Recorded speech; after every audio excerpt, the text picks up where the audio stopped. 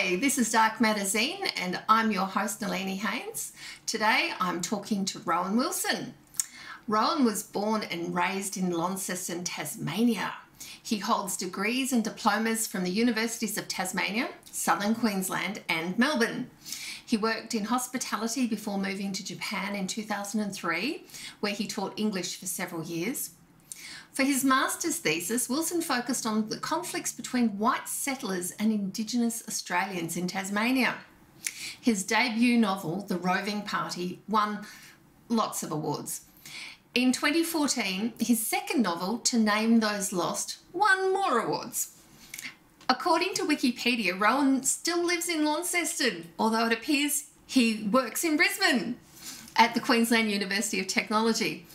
I guess it's not just Tasmania with the reputation for being behind the times, eh, Wikipedia? Thanks, Wikipedia. Hello, Rohan. Hello, how are you doing? Good, thank you. How about you? Fantastic, thank you. Great to be here. Um, appreciate the, uh, the the airtime that you're giving me. Oh, you're welcome. So, what's the commute like living in Launceston and working in Brisbane? Yeah, it's a long one. Two hour flight every morning just to get to work. Yeah, no, I've been yeah. in Brisbane since about 2015. So been up here for five years now, four and a half years. Uh, came up to work at the Queensland University of Technology here, and I love it. I love Brisbane. I love the university, and I love I love teaching writing. It's a, um, it's an endlessly fascinating and inspiring job. Uh, I feel very privileged to be able to steward my um, students through the early years of their career and, and, help them to learn a little about this game that we call writing uh, and the publishing industry. Yeah, it's a lot of fun. That's awesome. And as a Hobartian, I'd like to offer you my congratulations for getting out of Launceston. yes, I, I was fighting my entire life to try and get out of Launceston. It kept dragging me back. You know, I, I went to Japan for a few years and then got dragged back to Launceston it, it, has a very strong gravitational pull, doesn't it, Tasmania? We, we find ourselves dragged back there against our own yes. best interest. This, this is very true. Tasmania has a very strong gravitational pull, and Launceston's kind of like the black hole. Yes, indeed. yeah, I have done my time in Hobart as well. I love Hobart. Uh, I, I, love Tasmania, of course, and I've always written about it, and I always will. Um, but it is good to get away from the island from time to time and live elsewhere. And I'll probably end up back there one day, but for the time being, I'm, I'm quite happy in Brisbane.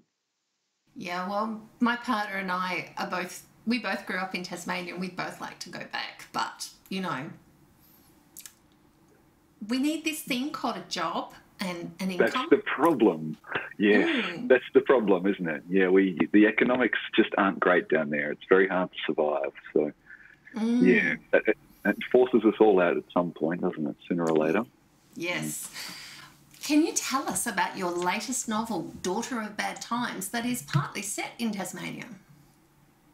Yes, it is. Uh, Daughter of Bad Times is about uh, a, a, wealthy heiress named Rin Braden. She's the daughter of, of a, a, CEO of a, of a, giant correctional company um, who operate prisons and detention centres around the world.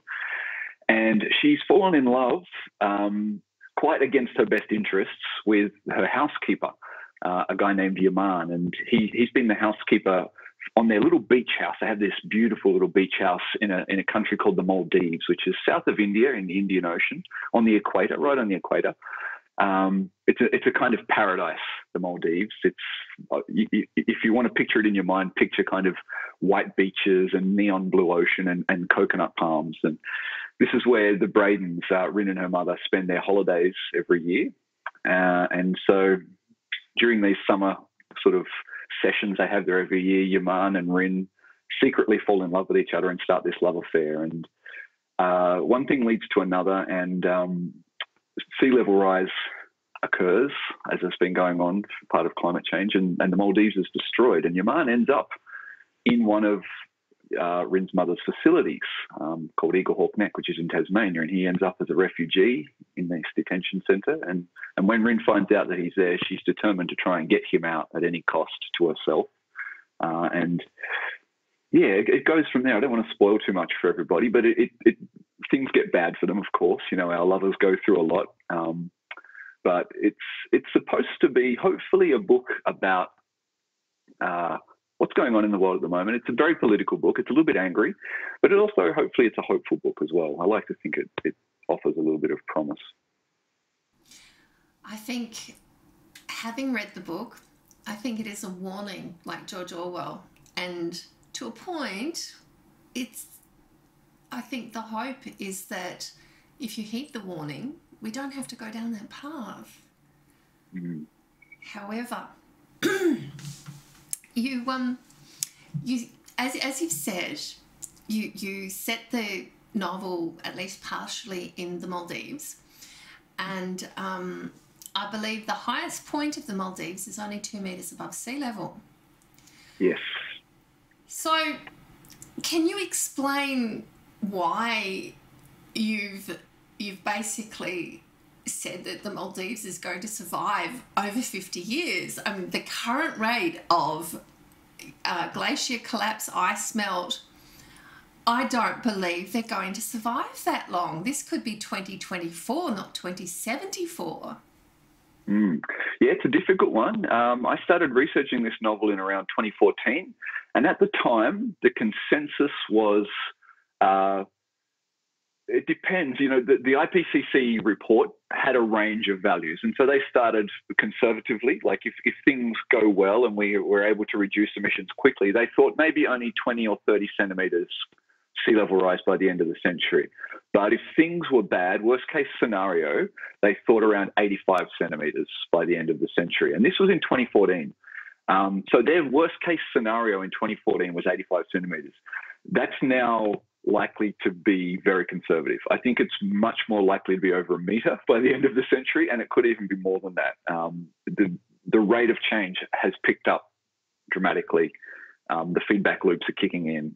The IPCC have been warning us about this for a long time, but it seems as if they were too conservative. So I'm not sure where it will end up, but um, I think I think I'm being reasonably conservative. In, I don't put a number on it in the book, but I'm thinking around a meter to a meter and a half by 2075. That's that's what my book is based on. So that that might be a little bit pessimistic, or it might be a little bit optimistic. I'm not sure yet. We'll have to wait and see. But at the at the time I was writing it, it felt perhaps at the worst end of things.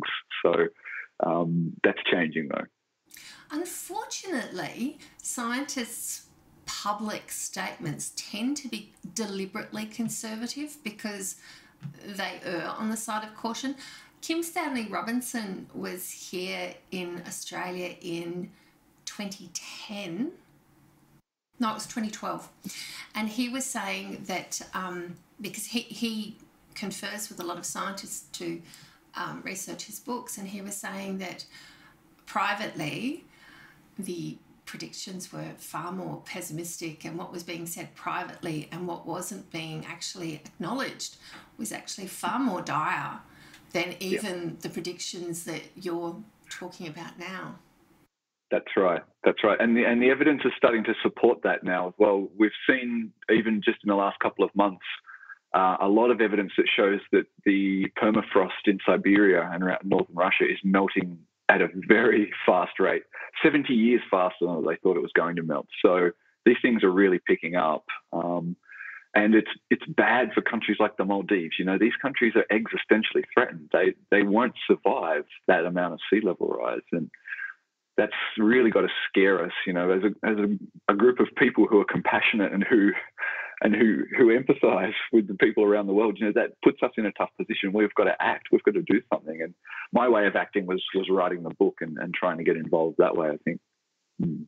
So does that explain your switch from historical fiction to future fiction? Because you you've explored issues like racial tension before in your previous work, but but this is a a 180 degrees turn, I think, for your writing. Yeah, it's a big change, isn't it? Uh, it's it's an interesting question though. Like it depends how you think about it. I mean, on the one hand, when I started writing um, 20 years ago, I wrote science fiction, and I, I always imagined myself to be a sci-fi writer, and I don't know why that is. Probably just because I grew up with Star Trek and Star Wars and that stuff, and I and I've always, yeah, I, well, you know, they're the geeks of the world unite, don't we? So I I always imagined that, and when I first started writing, um, I, I, it was always stuck with a science fiction kind of bent.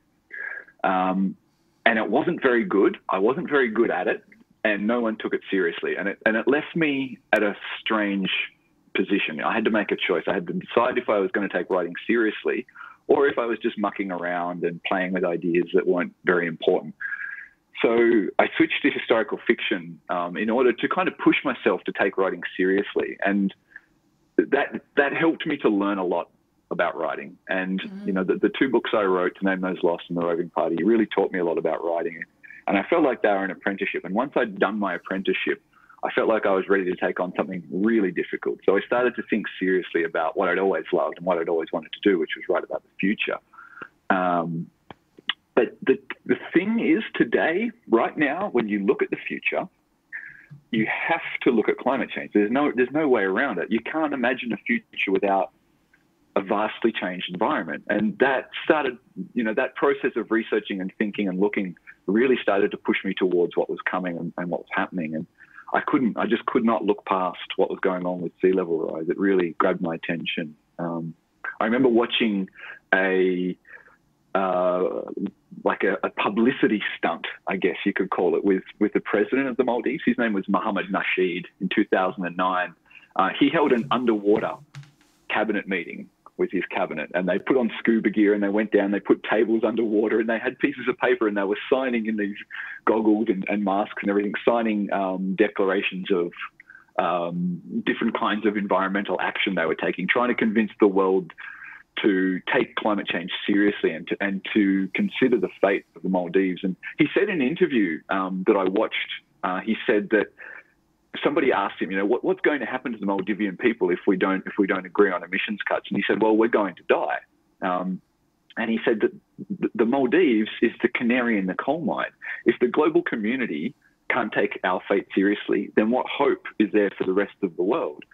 Mm. Um, and I came came across this and I watched it and I thought he's right. Like he's absolutely right. Like if if we will sit around and let this country disappear, what else will we let disappear? You know, it, so his words kind of implicated me ethically. I felt like I'd been pulled into a conversation. So that was the kind of starting point for me, and I went from there. And we can be very focused on the immediate. So, you know, Australian news is focused on Australia. What people don't realise is that two metre sea level rise will drown the Maldives but mm. we will also lose a significant proportion of our infrastructure. Adelaide is the, the bulk of Adelaide is not two metres above sea level. Look at Melbourne. I'm not sure how far above sea level the Hobart Hospital is, but it's not that far. Not very and far. It, and it goes on. We, we will lose, a, you know, just two metres, and we will lose a significant proportion. It will cost Australia billions of dollars. Mm. Look at mm. the floods in Brisbane. That's right. Yeah, well, a lot of Brisbane is not much more than about a metre above sea level as well. Mm. Yeah, that's right. There, there are whole portions, um, and there are entire cities in Australia that are less than two metres above sea level, but there are whole proportions of our capital cities, of course, that would be affected by this. And yeah, it's quite dramatic. But, um, you know, as a white Australian, the safe thing to do, the smart thing to do, would probably have just been to write about that. You know, a future where um, Melbourne has lost a lot of its waterfront area. You know, I could have written about that, but it didn't feel as if the threat to Australia was on the same level as a threat to the Maldives. It felt it felt like I was being a little dishonest somehow if I'd have written about Australia, um, when in fact the real threat, the most immediate threat, is to these other cultures and other places. And I think that's one of the things that climate change is doing to us. It's forcing us to think globally, you know, and about time too. It's about time. But climate change really forces you to look outside your own backyard and consider how these things affect other people. And I know that my experience was very much like that. It, it forced me to um, think much bigger than, than just Brisbane or even just Queensland or Australia. Um, yeah, so that was kind of the genesis of the novel, really, for me, I think. Once I knew it was the Maldives that I wanted to write about, I then had to figure out all of the different connections and how all the different pieces fit together. Mm. Yes, because the bulk of the novel isn't actually set in the Maldives. A lot of the novel is set in Tasmania. And I love the connection between our current refugee camps on Manus and Nauru, US prisons where people are used as slave labour. And it's all situated on Eaglehawk Neck, right smack next to Port Arthur. So, how did you get to that place? Uh, well, Port Arthur was kind of a starting point for me. Um, I guess that's part of being a historical writer as well. Like you look at, you tend to look at that trajectory. You, you tend to, when you when you sit down and do research for historical fiction, um, you're constantly in this process of thinking, um, you know, haven't we changed? H- haven't we come so far? Look, look how things are different now. Um, that that trajectory is always immediately apparent to you, and and even though when you're actually writing the fiction, you're trying to convince people that um, it's happening in that time and of that time. So you want people to think um, it's totally natural that when you want to light a fire, of course you pull out like a, a, striker and a flint and, and you and you spark a fire into a campfire. Of course, that's how you light a fire. We don't have lighters or matches. You know, those things are they don't, they're not around yet. so it's you're you're trying to you're playing this game with your readers, um, even though you're comparing when you look back and you're looking at that trajectory. You're trying to convince them that no, this is actually taking place in the past. So that process of looking backwards and forwards always to me felt like um, something that I wanted to include into the novel. And so Port mm. Arthur was my way of including that trajectory and, and tying this book to my other two books and tying it to Australian history and tying it to Tasmanian history and talking about who we were and where we come from and where we were going. So I think there's a very clear very, very clear and strong connection between Port Arthur and Manus Island or Port Arthur and Villawood Detention Centre. These facilities operate under very similar principles, um, and even more so in the US where you would be forced to work, or, or in a, pri- a, private prison in Australia where you would be forced to work as well. So those mm. facilities exist in Australia, and um, you know, not much has changed in a lot of ways. I didn't realise we had private prisons in Australia yet. I thought that was. Yes, we certainly oh. do. Around 18% of prisoners in Australia um, are housed in private prisons, and they're forced to work, many of them as well. Yeah, against their will. Indeed. That happens in Australia today. Yeah. Not wow. for our refugees, not for our refugees yet. In America, if you're in immigration detention, you would also be forced to work. That doesn't happen here in Australia yet, but it can't be far away.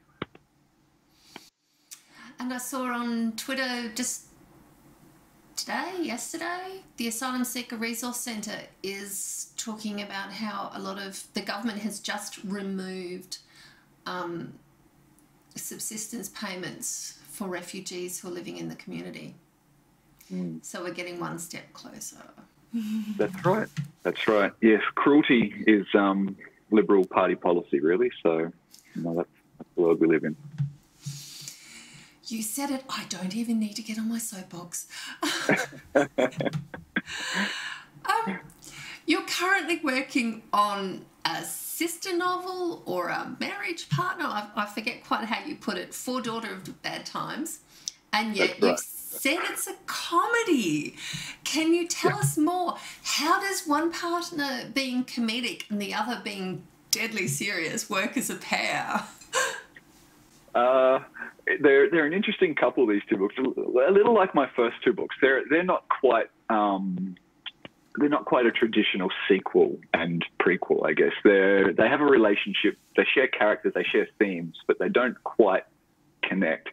Similarly, with these two books, they share themes and they share characters, but they don't quite connect in, in the way that we imagine books to connect otherwise. So, um, in in Daughter of Bad Times, uh, Rin Braden um, finds her adopted mother. She she tracks her down in Japan and and speaks to her, and her mother in Japan shows her some photos, and one of the photos she shows her is, is of her grandmother Lulu, um, and she explains to Rin that Lulu was half Australian, her father was Australian, and that makes you one eighth Australian. Um, uh, that moment, I put that moment in the book very deliberately so that I could write the book I'm writing now, which is about Lulu Sakurai, which is Rin's grandmother. So this book is about Lulu Sakurai. She's a young woman. Uh, she's half Japanese, half Australian. She returns to Australia to find her father. She hasn't seen him for 10 years, and she shows up on his doorstep kind of out of the blue. Um, her father is overjoyed to see her. He hasn't seen her for so long, and he's desperately missed her. And he's been living a very kind of lonely, miserable life um, as an academic in Brisbane, a little like me, except, I'm not lonely or miserable because I'm married. whereas, whereas he was not not that kind to his wife, and they and they divorced uh, early on. So it, there, there, are some autobiographical details in here. Um, but then uh, the interesting part of the story starts to take place when they bond, they, they start to bond together and, and learn about each other by playing a video game together. Um, so Lulu is um, a kind of a big shot inside this video game that she plays. She's very good at it. And she convinces her father to play with her. And he's so impressed by her kind of skills in the video game and her ability that he, that he starts to get drawn into the game as well. And they learn about each other and they, they kind of um, help each other solve their life problems through this video game. So it is a comedy, um, but it's it's also about sort of similar things to what Daughter of Bad Times is about. You know, um, capitalism and how it forces us apart, and and how we're left miserable by the current you know economic world that we live in. Um, yeah, those those themes occur again. Sounds potent. This this video game is it actually a real like a game that exists, or is this a game that you've made up? It's a game that I made up based on bits and pieces I've taken from from real video games. Yeah, it, it's a combination of about three or four different games. It doesn't exist yet, and the technology probably isn't quite ready for a game like this one. It's a it's a virtual reality game. Um, it's open world, um, and it has elements of um, multi, massively multiplayer games like World of Warcraft or um, Rust or Eve, those kinds of games. So, um, yeah, it's been a lot of fun to write. It's very, very difficult, very difficult to write about virtual spaces in fiction. William Gibson made it look easy when, when he did it in Neuromancer and, and all of his books. Um, but it, it's been an extremely difficult challenge to overcome. But I think I'm starting to crack it. I'm starting to figure out how to make that world um, as fascinating as our own world. I think, yeah. Well, I'm intrigued, and I want the game. so do I. Yes, it's it's my dream to have a game like this. um, one day it'll happen. Yeah, it's going to happen. We, we might need to wait a few more years for the technology to catch up. But uh, a, a, game where we can put on a headset, you know, and, and go in and just become another person. Uh, yeah, that's that's the dream, isn't it? To have to have that dual life, that mm. double life. Yeah. Yes, uh, I don't know if you're aware, but apparently World of Warcraft has developed, is developing something in, it might be in beta or something. Um, I'm not quite sure of the stage, but you're supposed to be able to get on your computer, you know, get into the game and it links with um, like walking on a treadmill, things like that. So you can oh, actually. Right and to me, I mean, that is fantastic. I mean, what a better, what better way to actually, you know, combine exercise with playing a game. I, I yeah. love the concept. Yeah, it's incredible, isn't it? Yeah, we've got a VR set here in my house, and uh, it, it really is physically quite draining. You know, you're moving around, you're, you know, jumping and crouching and moving your head. Yeah, it, it, it's a it's a workout. It's a workout, but mm. in a good way, though. I think. Yeah, it's it's deeply, deeply enjoyable to be in those worlds. You, you really do um, lose a sense of uh, yourself or, or, a sense of the outside world. You're, you're fully absorbed in that world. It becomes it becomes the world, which is a, a really, really deeply fascinating thing to me. And speaking of the world, you're off to London next week. Are you planning to say goodbye to the motherland before it sinks under the weight of Brexit? yeah, hopefully there's still something there when I get there, and it's not all just a smouldering ruin. But uh, no, it's my first time in the UK, so I'm really looking forward to that. I'm going over to a creative writing conference over there and um, talking about my book a little and presenting some of my research. So it's going to be a great time. I'm really looking forward to it. Um, I, I'm really desperate to get some of that old-fashioned English food. I want to try some fish and chips while I'm over there, and uh, you know pie and mash and those kinds of things. So, yeah, maybe an English breakfast somewhere. Yeah. Well, I have to say that all sounds much better than a pie floater. A pie floater, yeah. well, I, I am partial to a pie floater sometimes. I, I really do enjoy them from time to time. So you have been in to, you, you have been to Adelaide and tried their delicacy. yes. Oh, yes. Absolutely. When I was in Adelaide. Yes. Yes. No. No question. Yeah, it was top of my list. I lived in Adelaide for eight years and I've never tried a pie floater. Oh, so really? What, Next time you're there. so what were you what were you saying about Hobart? Did you ever try a, a curried scallop pie while you were in Hobart? Oh yeah, I lived in Hobart for most of my life, so yeah. is well, it, is it a Hobart our, thing? It's a Tasmanian thing, absolutely. Yeah, very very oh. Tasmanian. Yeah. Oh yeah. well, that explains why they're never anywhere else. yeah, no, you'll only find them in Tasmania. They're very rare outside of that. I think the scallops are probably too expensive everywhere else in Australia. yes. Yeah.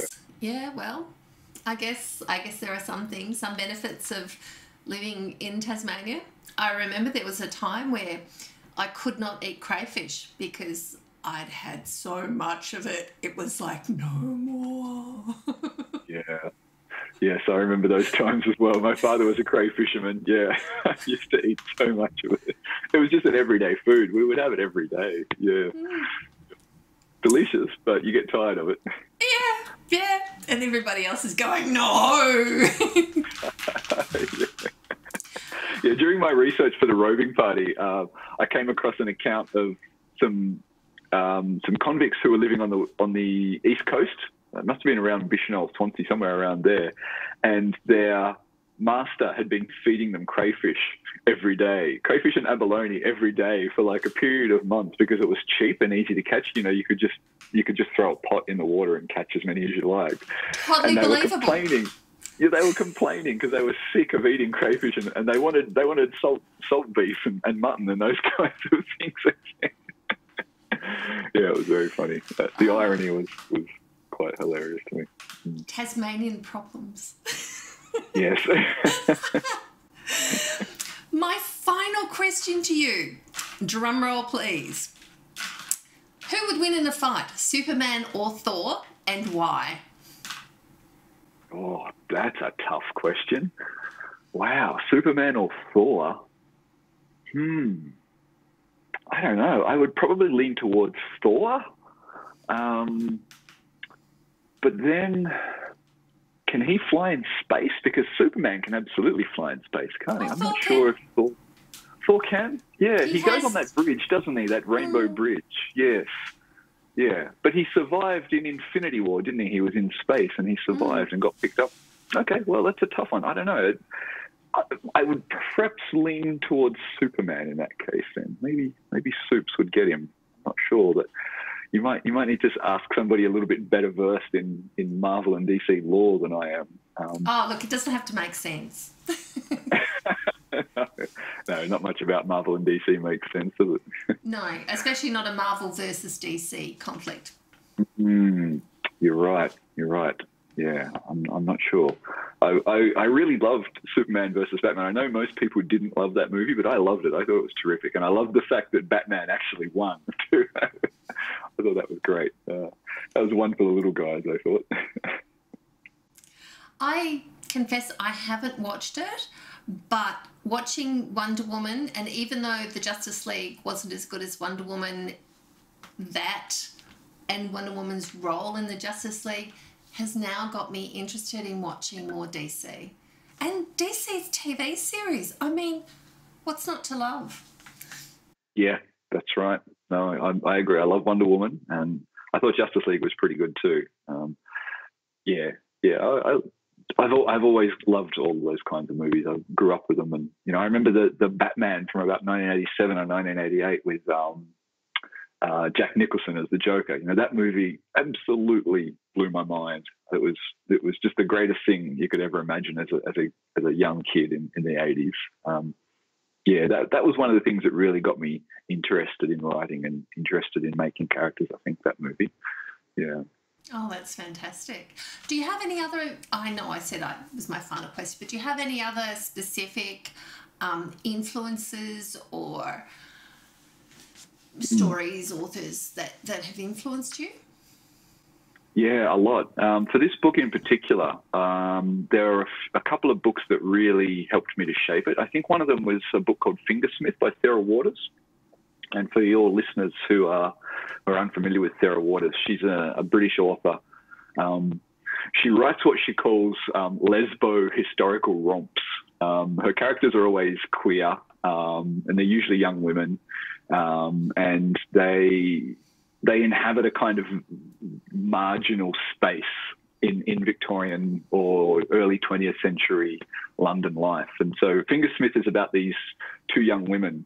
Uh, one of them's very rich and one of them's very poor, and they fall in love.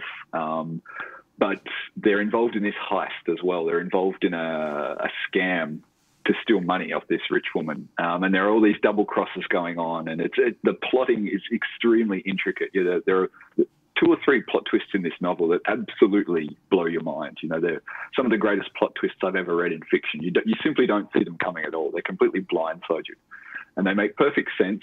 Um, and yeah, it's just an extraordinary book. I highly recommend it to anyone out there who's listening. So that was one big influence on me, and I think the other one, um, the other big one, was a book called Zone of Interest by Martin Amis.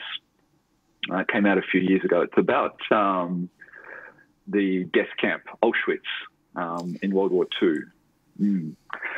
Yeah, it's a, it's a, a, little grim, but not as grim as some of the books I've read about Auschwitz. It's also a little bit satirical. It's poking a lot of fun at the Nazis um, uh, and, and really kind of doing some damage to them with satire and irony and making them look completely, at the same time as they're murderously dangerous, also making them look kind of completely uh, incapable of achieving any kind of thing that they want to achieve. Um, yeah, it's it's a really interesting book, and that's also it has a romance at the centre. This um, a Nazi officer falls in love with the wife of his superior, uh, and they try to um, survive the war. I guess they just want to survive. They just want to get through without being killed, mostly. Um, yeah, very very interesting book. It's also quite funny, um, but very very dark as well.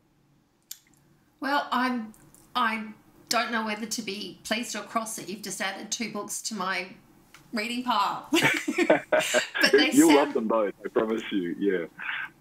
They sound absolutely amazing. Well, thank you very much for talking to Dark Matter today and have a fantastic trip to London. Yes, thanks, Nellie. I appreciate it. Thanks for having me on. You're welcome.